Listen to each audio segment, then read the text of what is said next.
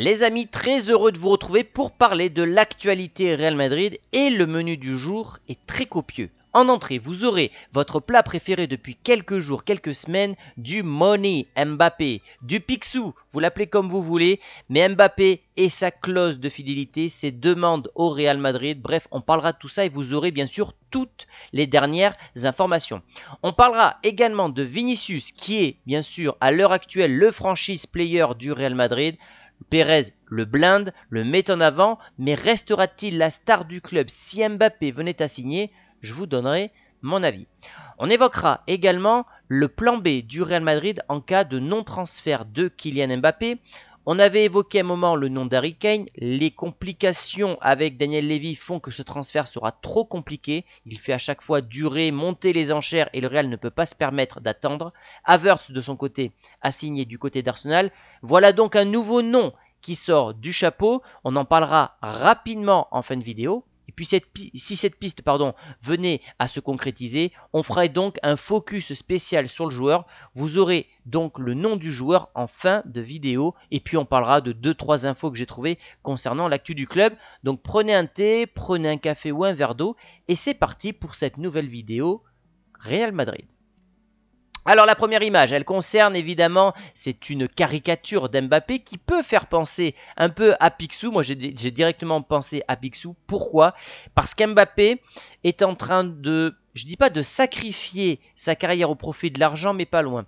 En fait, au tout début de sa carrière, et de façon unanime, les gens adoraient Kylian Mbappé. Les fans de Marseille, du PSG, lorsqu'il était à Monaco, tout le monde l'aimait bien. Il avait vraiment une image incroyable.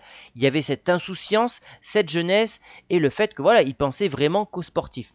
Aujourd'hui, on a un joueur qui est un électron libre dans son club, qui est un joueur politisé, tous les mots sont pesés, et c'est un joueur qui fait très très attention à l'argent. Alors évidemment, hein, tout le monde doit faire attention à l'argent. Mais là, j'ai l'impression qu'on dépasse certaines limites euh, de l'indécence en fait. Là, on, tombe dans l'indécence absolue euh, concernant Kylian Mbappé. Je vais vous dévoiler les chiffres. Mais en gros, alors je vais décaler la caméra. La prime de fidélité d'Mbappé est aujourd'hui la seule chose qui sépare les trois parties. Le Real, Mbappé et le Paris Saint-Germain. Et certains pensent que c'est trop grand pour être surmonté. On parle d'une prime de fidélité de 90 millions d'euros. Et vous allez tout comprendre.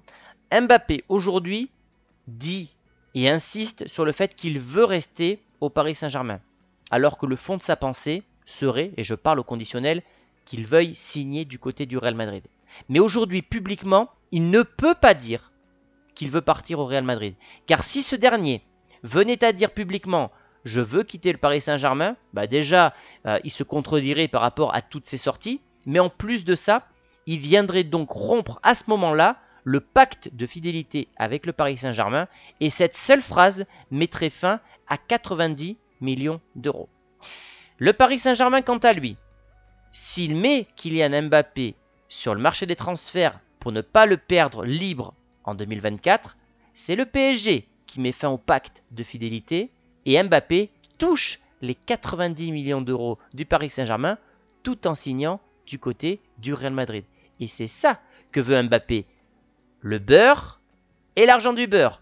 Signer au Real Madrid, mais également toucher ma prime de fidélité. En fait, si vous voulez, si Mbappé avait fait les choses correctement, sans demander cet argent, alors 90 millions d'euros c'est énorme, mais est-ce qu'Mbappé est à 90 millions d'euros près? Avec tout l'argent qu'il a, il a encore gagné l'an passé plus de 130 millions, euh, salaires et sponsors confondus. Est-ce qu'il est prêt à sacrifier euh, un transfert au Real Madrid pour 90 millions d'euros? En fait, la question, elle est là. Et euh, je ne sais plus où je voulais en venir. Bon, bref, et du coup, s'il voulait vraiment signer du côté du Real Madrid, je pense que ça serait fait depuis longtemps. Mais ces primes-là viennent bloquer le deal. Parce que le Paris Saint-Germain ne veut pas payer les 90 millions d'euros en perdant son joueur, il serait vraiment le cocu de l'histoire. Le Real ne peut pas se permettre de payer le coût du transfert, le contrat et la prime de fidélité. Et Mbappé de son côté ne veut pas renoncer à cette prime. Donc cette prime, cette clause de fidélité, vous l'appelez comme vous voulez, c'est ça qui bloque le transfert d'Mbappé aujourd'hui. J'espère qu'avec mes, explications, vous avez un peu plus compris euh, le problème. Petit billet écrit par un journaliste de Marca, compter les billets, c'est la priorité d'Mbappé. Il est logique que tout humain veuille tirer profit de son activité professionnelle, mais attention, ne tombez pas dans la cupidité en sacrifiant ce que vous aimez. D'où la photo que je vous ai mis en début de vidéo. Vous comprenez mieux. Money Mbappé. Alors Pedrirol, lui, c'est le, euh, le journaliste sportif qui est le, patron en fait del Chiringuito, une émission espagnole très connue. Et lui, euh, comment dire, est très proche de Florentino Pérez. Donc lorsque ce dernier parle, c'est souvent parce que euh, Pérez lui a glissé un mot dans l'oreille. Mbappé au Real Madrid, c'est maintenant ou jamais. S'il ne vient pas cet été, je pense qu'il prolongera au Paris Saint-Germain.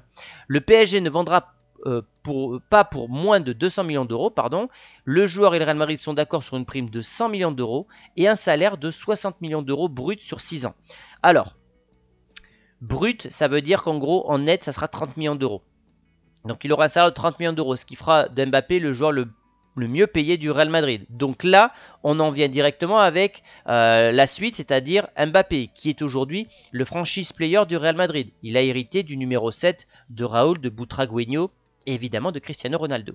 C'est le numéro 7 que porte Mbappé. Et j'ai l'impression que Pérez, il est en train de préparer le terrain. Je donne des choses à Vinicius, j'en prépare d'autres pour Mbappé. Et donc là, on serait sur un contrat de, euh, de 60 millions d'euros bruts sur 6 ans, histoire de lycée, euh, et un une prime de 100 millions d'euros. Donc la prime, normalement, elle se, elle se signe lorsque le joueur est libre de tout contrat. Donc là, j'ai du mal à comprendre. Est-ce que ça englobe les 200 millions d'euros que serait prêt à mettre le Real Madrid? Est-ce que ça englobe le prix du transfert et la prime de fidélité? Admettons, 120 euh, millions d'euros pour le transfert d'Mbappé et le Real Madrid rajoute, et rajoute 80 millions d'euros, ça fait 200 millions. Et le PSG est content parce qu'il n'a pas à payer la prime aux joueurs. Il a ses 200 millions pour refaire son mercato. Mbappé a sa prime, il peut partir tranquillement. Et le Real paye que 120 millions le transfert d'Mbappé. 120 millions lissés sur 6 ans, ce qui équivaut à 20 millions d'euros pour Mbappé. C'est peanuts. Donc je pense qu'on peut se diriger vers un deal comme ça. Euh, le blindage galactique. Euh, la clause libératoire euh, de Vinicius est d'aujourd'hui 1 milliard d'euros, un contrat jusqu'en 2027. Donc voilà, volonté du Real Madrid de s'appuyer sur Vinicius qui va devenir l'homme fort du Real Madrid en l'absence de Karim Benzema aucun risque qu'un club euh, État vienne l'acheter puisqu'on parle d'une clause d'un milliard et un contrat donc pour les 4 euh, prochaines années. Donc c'est une excellente nouvelle en espérant évidemment que si Mbappé venait à signer au club, il y aurait un certain équilibre au niveau des coups de pied arrêtés euh, et de la mise en avant de la star du Real Madrid parce que Vinicius pourrait se dire que c'est le grand perdant. Au moment où Benzema s'en va, il pense avoir toute la lumière sur lui, il n'en profite même pas qu'un jour que tu as Mbappé qui se ramène. On peut avoir ce genre de problème. Et là, je voulais vous parler de ça. Alors, je vais juste décaler la, caméra puisqu'on a une comparaison entre Vinicius Junior à 22 ans et Mbappé à 24 ans. Donc vous avez en gros, euh, c'est un peu comme dans FIFA, Football Manager, en gros ça dessine une carte du joueur pour voir où sont ses points forts, où sont ses points faibles. on se rend compte en fait que bah, Vinicius aujourd'hui, bah, finalement il est, euh, il est du même niveau, voire supérieur à euh, Kylian Mbappé. Euh, je sais pas, on peut, prendre les dribbles, il est devant le français. Alors pas en nombre de buts, mais en assist, il est devant. En minutes jouées également. En action offensive également. En fait, si on fait le total euh, d'Mbappé et le total de Vinicius, on se retrouve avec un 5-4 pour Mbappé. Ça englobe évidemment la dernière saison, mais ça veut dire qu'aujourd'hui, intrinsèquement, Vinicius est aussi fort qu'Mbappé. Alors il n'arrive pas à planter encore les 50 buts par saison que met le français, mais euh, c'est plus peut-être équilibré, c'est-à-dire 25 buts, 25 passes décisives, ce qui fait à peu près 50 goals assists par saison. C'était intéressant, je trouve, d'en parler. L'autre leader du Real Madrid, c'est euh, Rodrigo, qu'on voit sur cette image. Pourquoi on le voit tirer un coup franc? Parce qu'il est désigné officiellement comme le tireur numéro 1 des coups francs pour le Real Madrid la saison prochaine. Alors pas les coups francs excentrés, mais les coups francs aux alentours de la surface. Il a déjà mis des coups francs euh, l'an passé, je crois que c'était contre le Rayo Vallecano sur la photo, ou Séville, je sais plus, Séville. Et, euh, donc il sera le tireur numéro 1 devant Modric, devant Kroos et devant sûrement Kylian Mbappé. Là aussi, je trouve ça malin de la part du bord du Real de mettre Rodrigo, parce que lui aussi pourrait se sentir lésé bah, j'ai pas le numéro que je veux. Bon, il est hérité du numéro 11 quand même. Mais voilà, je vais être dans l'ombre de Vinicius, dans l'ombre possiblement d'Mbappé ou de Harry Kane ou d'un autre attaquant. Euh, qu'est-ce que je gagne moi en fait au final? Parce que euh, je progresse. L'an passé, j'ai mis quasiment 20 buts. Le Real lui offre le numéro 11 le Real lui offre les coups francs. Donc vous voyez, c'est tout un jeu d'équilibre qui est en train d'instaurer Pérez et le bord du Real pour que chaque attaquant du Real l'année prochaine ne se retrouve pas lésé et qu'il n'y ait pas de jalousie qui s'installe dans le vestiaire du Real Madrid parce qu'on le sait, le plus grand risque qu'Mbappé, enfin si Mbappé signe au Real, c'est que ça déséquilibre un vestiaire. Donc j'ai l'impression qu'on est déjà en train d'anticiper ce genre de problème-là. Et le potentiel remplaçant de Kylian Mbappé serait donc euh, Vlaovic. D'après As, on parlerait d'un transfert de 80 millions d'euros. Bon, euh, est-ce que le Real a intérêt à aller sur Vlaovic il n'a pas confirmé du côté de la Juve. On est sur un attaquant qui était très prometteur du côté de la Fiorentina. Il est tombé dans une Juve qui était ultra défensive avec Allegri. Il n'a pas fait le bon move selon moi d'aller euh, du côté de Turin. Euh, il est annoncé du côté du Bayern, de Chelsea, maintenant du Real Madrid.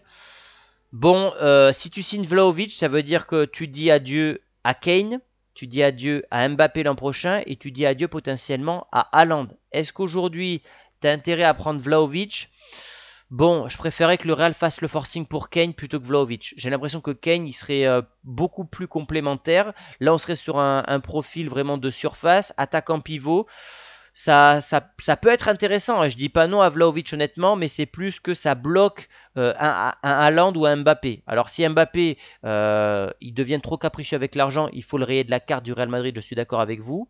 Vlaovic reste un attaquant jeune qui ne, comment dire, qui ne viendrait pas prendre la lumière à Vinicius, qui s'inscrirait dans un collectif Real Madrid.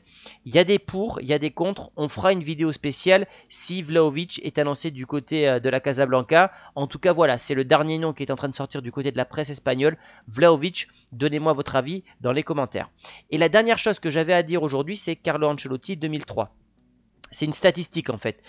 Depuis 2003, c'est la première fois que Carlo Ancelotti va enchaîner une troisième saison consécutive sur un même banc. Et je trouve ça bien que le Real apporte justement cette, euh, euh, cette fidélité, cette continuité avec Carlo Ancelotti. Parce que je pense qu'aujourd'hui, c'est l'entraîneur idéal pour gérer les égaux du côté du Real Madrid. On rentre dans une phase de transition. Tu n'as plus Benzema, tu as les jeunes loups tels que Rodrigo, Vinicius, Bellingham, possiblement Mbappé, qui vont émerger et qui vont essayer ben, de devenir l'élément numéro 1 ou 2 du Real Madrid. Et là, tu as l'entraîneur parfait pour gérer les égaux. Hein, le gars a géré euh, Benzema, Bale euh, et, euh, et, Cristiano Ronaldo. Il a géré les égaux du côté du Milan AC. Donc en fait, je pense que c'est l'entraîneur parfait pour faire ces années de transition, mettre à plat tout ça. Et l'an prochain, tu vas chercher un autre entraîneur Là, actuellement, c'est Zidane, c'est Nagelsmann, c'est Xabi Alonso, c'est Raoul. Il y aura peut-être d'autres noms euh, l'an prochain, mais on se dirigerait vers, ça. Voilà, les amis. Euh, j'avais fait une miniature qui s'appelait Le Pognon, mais finalement, j'ai changé pour Money Mbappé. Voilà, les amis, ce qu'on pouvait dire. Donc, à retenir, c'est que Mbappé, toujours aussi proche de sa clause, et cette clause est en train de bloquer le transfert. On verra si un accord sera trouvé avec le Paris Saint-Germain. Euh, je vous tiendrai au courant, donc activez la cloche. À retenir que le bord du Real est en train de préparer, je trouve, l'arrivée d'un grand attaquant en mettant en avant Mbappé, en protégeant Rodrigo. Euh, voilà, donc j'ai l'impression que tout ça, il y, a un travail qui est fait en amont. Donc voilà, et puis bien sûr, Vlaovic, Ancelotti, donnez-moi votre avis, exprimez-vous dans les commentaires, c'est fait pour ça. Vous pouvez me retrouver les amis sur TikTok, sur Instagram, sur Twitter et sur Facebook. Et je vous dis à très vite pour une prochaine vidéo. Ciao